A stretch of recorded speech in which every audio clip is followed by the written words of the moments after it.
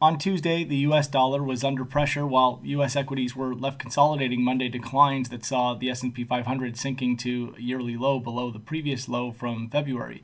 German IFO data was shrugged off and most of the activity for the day was attributed to pre-event risk positioning ahead of tomorrow's anticipated Fed decision there has been a growing pressure on the Fed to reconsider what had been a more aggressive outlook for rate hikes in 2019. And while it won't be because of any pressure from the White House, the Fed has been signaling through scattered speak in recent weeks that it could be moving in that direction. It's worth noting oil correlated currencies have had a tougher go of late, with the Canadian dollar tracking just off a 2018 low against the buck. That's a just off the dollar CAD 2018 high, despite the broader downside pressure on the buck. Oil has been in collapse mode since October after it was looking quite strong, rallying to its highest level since 2014.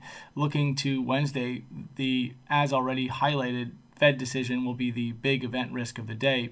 Ahead of that, key standouts come from German producer prices, UK producer prices, and consumer prices, Eurozone construction output, UK CBI trends, Canada CPI, and US existing home sales.